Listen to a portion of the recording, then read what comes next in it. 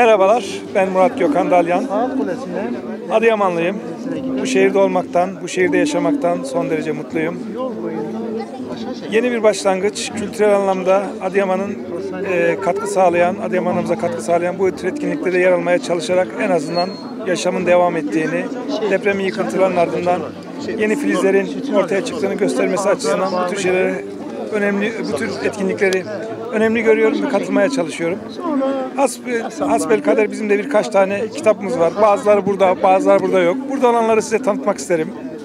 19. yüzyılda Amerikalı Misyoner Hakkari Günlüğü kitabımız bulunmakta. Bu yaklaşık olarak 150 yıl öncesinde Amerikalı misyonerlerin Hakkari'deki faaliyetlerinden, gezintilerinden, kurmuş oldukları okullardan, filizlemiş oldukları fitne, fesat veyahut da ayrılıkçı fikirlerden, oradaki azınlıklarla Müslüman hali arasındaki ektikleri tohumlardan biraz bahsediyoruz. Daha çok onların kendi eee, günlüklerinden ve raporlarından oluşmuştur. Bu ikinci kitabımız Komager'den Hıslı Mansur olan kitabımız. Fakat bunu daha sonra açıklayacağım çünkü bunun üzerinde durmak istiyorum. Diğer kitabımız antropoloji kitabı.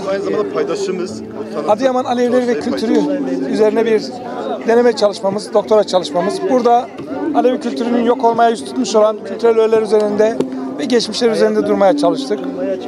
Bu diğer burada bulunan, imzada bulunan kitabımız Ermeni yaşamı. Ermenileri skor olarak değil de kaç kişi öldürdük, kaç kişi onlar bizden öldürdü değil de bunlar kimdir, ne yerler, ne içerler, kılık kıyafetleri nelerdir diye sosyo-kültürel özellikleri üzerinde durmaya çalıştık. Giriş niteliğinde bir kitabımızdır.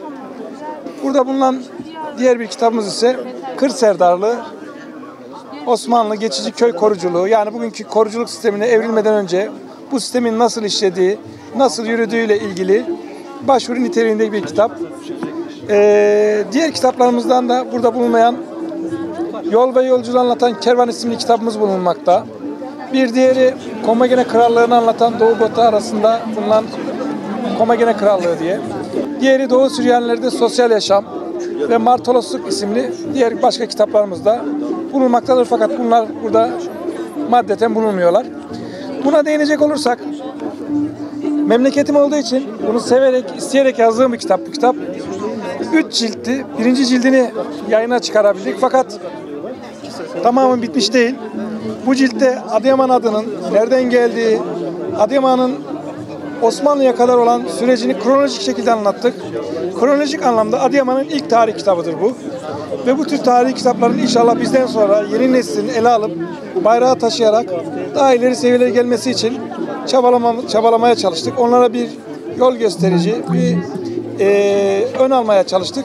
Ki ilham aldığımız kişiler de oldu. Mesela Zeki Adıyaman, Aziz Çağlayan, yıllar önce ölmüş olan üstadlarımızdır. Kitapları belki günümüzde pek fazla referans olarak görülmese bile en azından bu arkadaşlarımız, bu büyüklerimiz yolu açtılar. Biz de onların izinden yürümeye çalıştık. İnşallah ileride de bizim izimizden yürümeye çalışan kişiler çıkar. Burada yerel olarak da belediye ve valiyi de eleştirmek istiyorum. Kültürel bütçeleri olduğu halde Adıyaman'da bir şehir kitaplığı ve şehir kütüphanesi diye bir şey oluşturmadılar. Bu da şehir ve memleket eee, bilincinin oluşmasındaki, oluşmamasındaki en büyük sebeptir. Teşekkür ediyorum. Umarım okuru bol olan bir gün geçiririz.